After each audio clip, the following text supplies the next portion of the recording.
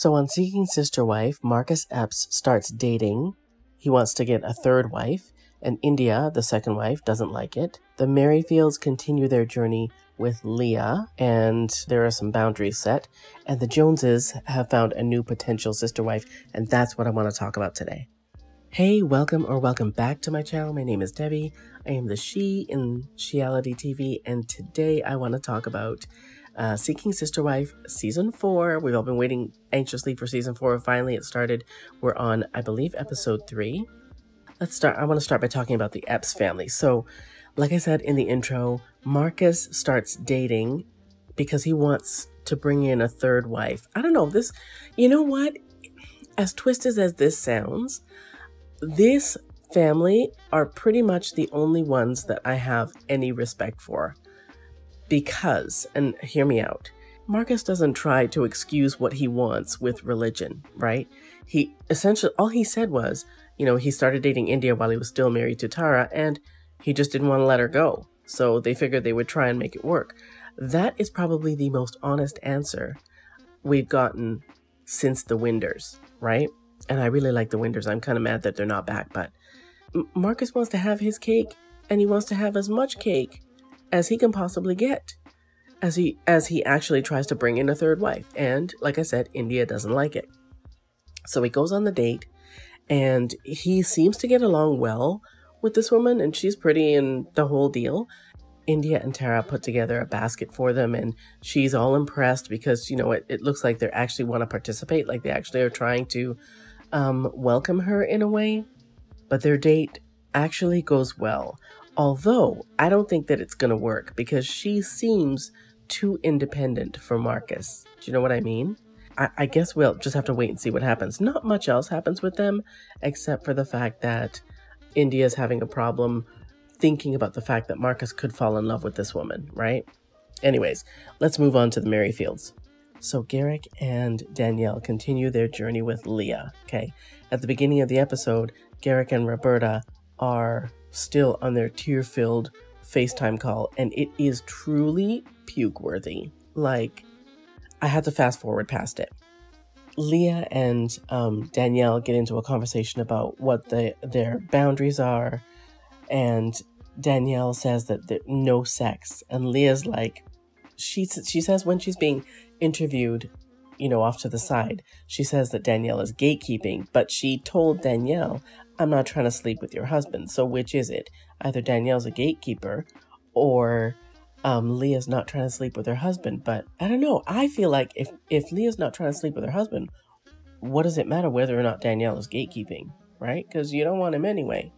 And for the record, there is no physical attraction from Garrick to Leah. It's just not there she says in the kitchen, like they're they're cooking in the kitchen, right? Like they're barbecuing, she's seasoning the meat or whatever. And she says there's that he's not gropey, right? He's not gropey. Can you see me with the the air quotes? Gropey is the word she used. And she's flattered by the fact that she's not he's not gropey, sorry. And I'm thinking, um, girl, the fact that he's not gropey means that he is not attracted to you because he was all up in Roberta's goodies he is not attracted. There's no attraction between these two. She might be attracted to him because she said, "Oh, maybe later we can get a kiss," but I don't. I, I don't see Garrick going in for the kiss. It just doesn't feel like. I don't know. It just doesn't feel like it's there. Do you know what I mean? Am I the only one thinking this? Garrick is not attracted to Leah like he was to Roberta. And like I said in my last video, I think it's primarily because Leah's not there for the same reason that Bert was there. Leah is a central casting hire. She's there so that they can keep collecting that check. She's and she ain't going anywhere anytime soon. Not before the end of the season. Definitely not before Bert gets there. I feel like that's entirely why she's there because they need the check and hey, she needs a check. Why not?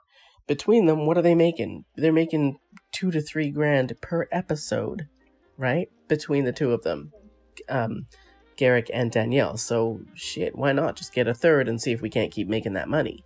So, they get into another conversation about um, what their expectations are of Leah.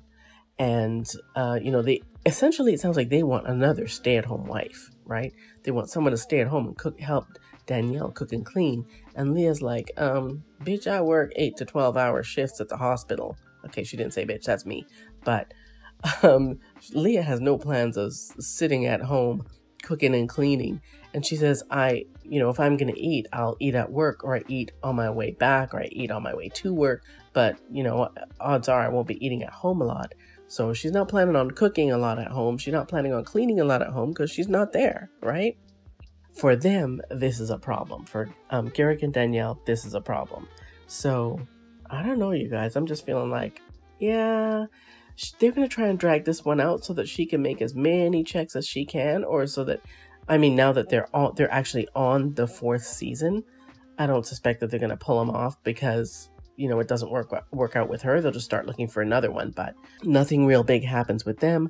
Let's move on to the joneses. We haven't seen them really since the beginning of the season and you know they kind of rehash how they got onto the show or why they're looking for a sister wife and they are or Sidian, the Joneses are Sidian and Tasha, and Sidian is starting to date or has been been dating a Filipino woman that he's dating um, long distance. So the way he describes this woman, I, I'm sorry, I don't like this guy because we, yes, we all think, oh, you know what, these guys are doing it. Every one of them is doing it just for themselves. The only one that I have any kind of respect for is Marcus Epps because he straight up says, this is what I want, right?